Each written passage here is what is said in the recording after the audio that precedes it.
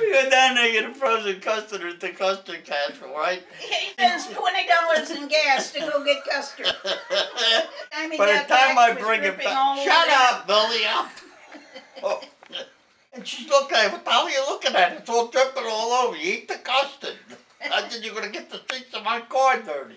I never had my tongue working so fast in my life. What?